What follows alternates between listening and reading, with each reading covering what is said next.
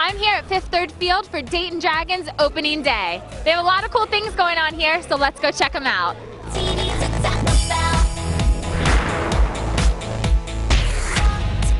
We have a lot of games and stuff in between the innings, so even if like you're not the biggest baseball fan, you can go to a Dragons game, get a lot of good food, see some funny skits go on with, you know, your friends and family, and just have a great time.